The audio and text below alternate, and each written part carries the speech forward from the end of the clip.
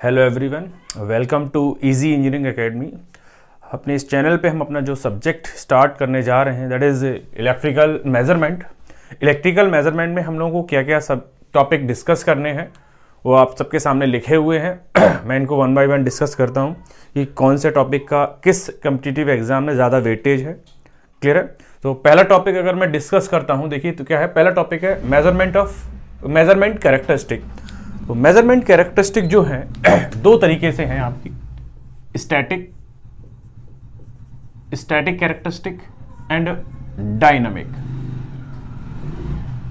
जो कैरेक्टरिस्टिक है, जो characteristic that vary with the time that is called static and the characteristic that vary that do not vary with the time that is called static and the characteristic that vary with the time that is called dynamic characteristic इन दोनों के अंदर भी बात करें तो हमारी जो characteristic है, दो तरीके की हैं। Desirable and undesirable undesirable characteristic कि क्या हमारे मेज़रमेंट इंस्ट्रूमेंट की क्या प्रॉपर्टी हमें चाहिए और क्या नहीं चाहिए? सिमिलरली अगर हम डायनेमिक कैरेक्टरिस्टिक की बात करें तो यहाँ भी डिजायरेबल और अनडिजायरेबल कैरेक्टरिस्टिक है। ना अगर इस टॉपिक की मैं वेटेज की बात करूँ कि ये टॉपिक कहाँ इंपॉर्टेंट है तो ये टॉपिक जो है आपका मेनली जो ई e में है। आई के पेपर में ये टॉपिक बहुत इंपॉर्टेंट है. From the eye point of view ये टॉपिक जो है काफ़ी इंपॉर्टेंट है. प्लस स्टेट लेवल के जो जितने भी एग्ज़ाम है स्टेट लेवल जितने भी एग्ज़ाम हैं आपके, उनके लिए टॉपिक बहुत इंपॉर्टेंट है.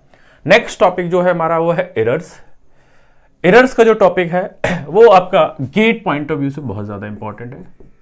गेट के हिसाब से काफ़ी इंपॉर्टेंट है. हर बार गेट के पेपर में आप एक से दो क्वेश्चन मिलेंगे मिलेंगे। अब एरर्स में हमें देखना क्या है कि टाइप्स ऑफ़ एरर क्या है, और जो मोस्ट इंपॉर्टेंट एरर का क्वेश्चन है दैट इज़ लिमिटिंग एरर और लिमिटिंग एरर के कॉम्बिनेशन क्या है कि हमारा जो मेज़रमेंट है वो एडिशन में है मल्टीप्लीकेशन में है सब्ट्रैक्शन में है तो एरर जो है कॉम्बिनेशन ऑफ़ फॉर्मूले में कैसे आएगी, ठीक है? नेक्स्ट हमारा जो टॉपिक है measurement of voltage and current अगर measurement of voltage and current की मैं बात करूँ तो करंट और वोल्टेज को मेजर करने के लिए हमारे पास कई सारे इंस्ट्रूमेंट हैं। अगर मैं डीसी में बात करूँ तो डीसी में हमारे पास पीएमएमसी इंस्ट्रूमेंट एसी में अगर हम बात करें तो एसी में जो है हमारे पास MI induction type M I है इंडक्शन टाइप है।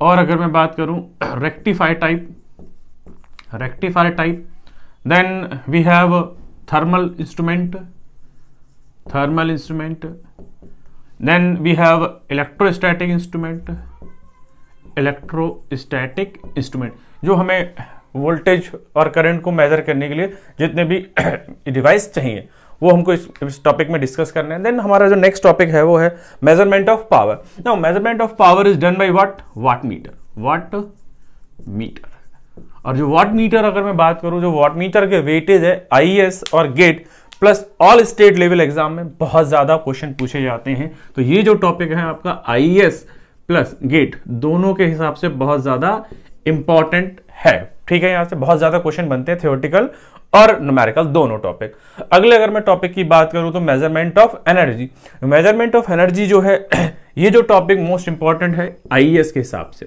बट गेट में आज तक एक या दो क्वेश्चन पूछे गए बट जो आईएएस है इसमें एनर्जी मीटर से काफ़ी क्वेश्चन पूछे गए थियोटिकल भी और न्यूमेरिकल भी, ठीक है? देन हमारा जो नेक्स्ट टॉपिक है मेज़रमेंट ऑफ़ रेजिस्टेंस अब जो रेजिस्टेंस मेज़रमेंट है, वो तीन तरीके से अगर मैं डिस्कस करूँ तो रेजिस्टेंस को हम तीन पार्ट्स में डिवाइड कर रहे हैं. Low value medium value medium value and then high value clear so अगर मैं जस्ट फॉर्मल तरीके से बात करूँ तो रेजिस्टेंस को मेजर करने के लिए लो वैल्यू जो रेजिस्टेंस है that is resistance less than one ohm को जो कैटेगराइज करा गया है that is a low value and the resistance range from five ohm to hundred kilo ohm is categorise as what medium and the resistance greater than resistance greater than hundred kilo ohm are categorise as high value resistance low value की अगर मैं बात करूँ, low resistance को major करने के आपके पास method जो है ammeter volt meter method then आपके पास है Kelvin bridge and the last method is potentiometer अगर मैं लो वैल्यू में बात करूँ तो सबसे अच्छा मेथड जो है कैलविन ब्रिज मेथड है आपका. और मीडियम में अगर मैं बात करूँ तो सब्सटीट्यूशन मेथड है वीट स्टोन ब्रिज है अमीटर वोल्ट मीटर मैथड है ओमीटर मैथड है. ठीक है बट मीडियम रेजिस्टेंस में मेजर करने के लिए जो सबसे अच्छा मेथड है मेरे पास है, वो है Wheatstone bridge clear similarly high value को भी मेजर करने के पास हमारे पास कई मेथड है but the most commonly used method that is called what Megger method clear है? तो इतने सारे हमें इसमें मेज़रमेंट देखने हैं रेजिस्टेंस के लिए।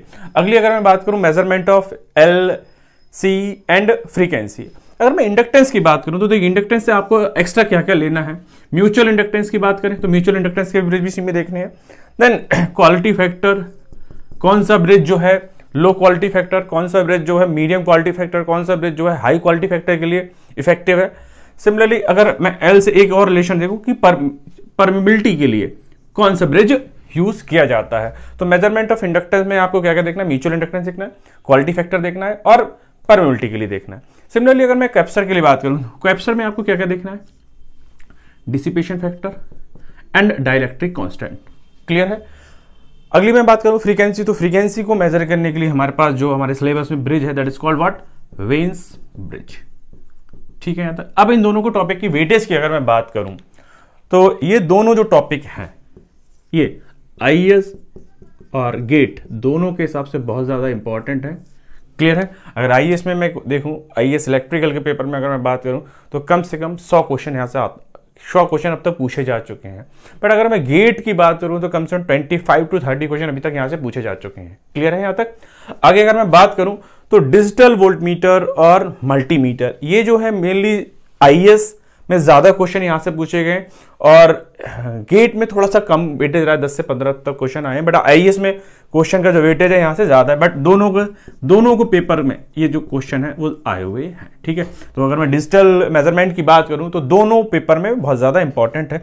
समझ अगर मैं क्यू मीटर की बात करूँ तो क्यू मीटर का अब तक गेट में एक या दो क्वेश्चन आया बट आई के हिसाब से ये क्वेश्चन ये जो टॉपिक है आपका बहुत इंपॉर्टेंट है आई पॉइंट ऑफ़ व्यू से क्लियर सिमिलरली अगर मैं सीआरओ की बात करूँ तो सीआरओ में आपने देखा होगा मैथली, जो सीआरओ है, इसमें कंस्ट्रक्शन से रिलेटेड क्वेश्चन आ रहे हैं, और जो मोस्ट इंपॉर्टेंट क्वेश्चन है सीआरओ के, वो है लिसाजिस पैटर्न से, कि फ्रीक्वेंसी एक दो, जो दो इनपुट है, एक पे हम फ्रीक्वेंसी लगा रहे हैं, दूसरे पे जो अननोन अननोन फ्रीक्वेंसी है, उसको कैसे हम फाइंड करेंगे? तो सीआरओ की अगर मैं बात करूँ तो गेट प्लस ईएस दोनों के हिसाब से बहुत ज़्यादा इंपॉर्टेंट टॉपिक है मोस्ट इंपॉर्टेंट की अगर बात करूँ तो गेट और ईएस के हिसाब से है, क्योंकि हर सेट में इसका क्वेश्चन मिलेगा मिलेगा। तो मैं इंस्ट्रूमेंट ट्रांसफ़र इंस्ट्रूमेंट ट्रांसफॉर्मर की बात करूँ तो ये आपको पता है C T current transformer and the next one is what potential transformer but जो इंस्ट्रूमेंट ट्रांसफॉर्मर हैं, इनका अभी तक बेटे जो मैं गेट और आई एस दोनों में बात करूँ तो अप्रॉक्स टोटल मिला के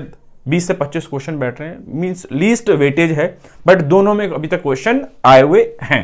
गेट प्लस आई क्लियर है? तो नेक्स्ट हमारा जो लास्ट टॉपिक है that is what transducer transducer सिर्फ़ अभी तक आई में आया हुआ है। गेट में अभी तक कोई क्वेश्चन इनका नहीं आया हुआ है। इलेक्ट्रिकल की अगर मैं बात करूँ तो कोई क्वेश्चन इसमें नहीं हुआ, आया हुआ है बट आईईएस में वो सॉरी अगर मैं इंस्ट्रूमेंटेशन ब्रांच की बात करूँ तो वहाँ ये क्वेश्चन मिल सकते हैं। क्लियर है? तो ये रहा हमारा सिलेबस जो हमें डिस्कस करना है। अगर मैं नेक्स्ट बात करूँ रेफरेंस बुक अगर आप कोई बुक फॉलो करना चाह रहे हैं तो मैं आपको दो बुक सजेस्ट कर रहा हूँ। The most famous book that is what हमारी पहली बुक है A K Sawhney Sawhney clear है? एंड नेक्स्ट बुक है David A Bell David A Bell ये दो बुक है हमारी।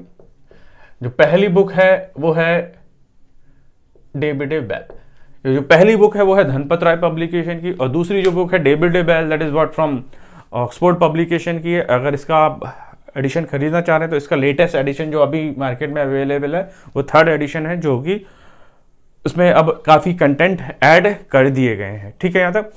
अब अगर मैं बात करूँ तो हम लोग अपने टॉपिक को, जो हमने अभी सिलेबस डिस्कस किया है, इसको वन बाय वन डिस्कस करेंगे measurement characteristic errors then measurement of voltage and current then measurement of power energy measurement of resistance inductance capacitance mutual inductance frequency digital volt meter and multimeter then next Q meter C R O instrument transformer and transducer अब जब हम ये topic discuss करेंगे इनके साथ हम कोशिश ये करेंगे कि गेट प्लस आई के क्वेश्चन है, प्लस जो स्टेट लेवल के ए के एग्ज़ाम है, प्लस जेई के एग्ज़ाम्स हैं, उनके जो अच्छे क्वेश्चन आए हुए हैं कॉन्सेप्चुअल क्वेश्चन आए हुए हैं, उनको हम टॉपिक टू टॉपिक डिस्कस करें। जो क्वेश्चन अच्छे बनेंगे, वो तो मैं आपके साथ डिस्कस करूँगा ही करूँगा बट कुछ एक्स्ट्रा क्वेश्चन प्रैक्टिस के लिए मैं आपको इसमें पीडीएफ में लिंक प्रोवाइड कराऊँगा। जिससे कि वो आप लोग सॉल्व करें, जिससे कि आपकी प्रैक्टिस हो। और इस पूरे सब्जेक्ट की अगर मैं वेटेज की बात करूँ तो इस पूरे सब्जेक्ट का जो वेटेज है that is from eight to ten marks ठीक है यहाँ तक? तो आठ से दस नंबर तक का इस सब्जेक्ट का वेटेज है क्लियर है? और अब हम अपने नेक्स्ट वीडियो में मिलेंगे, जो उसका पार्ट वन होगा। होपफुली आपको ये पसंद आएगा। अगर आप लोगों को ये चीज़ पसंद आए तो प्लीज़ लाइक करिएगा शेयर करिएगा सब्सक्राइब करिएगा इस चैनल को। जिससे कि ये, अगर आपको इससे कुछ बेनिफिट हुआ है तो आपके कुछ फ्रेंड्स हैं, जिनको ये सब्जेक्ट समझ में नहीं आया कोचिंग अफोर्ड नहीं कर सकते हैं क्लियर है? उन पर पहुँचे और मुझसे जितना बेनिफिट आप लोगों को हो सकता है, मैं वो प्रोवाइड कराने की कोशिश करूँगा। Thank you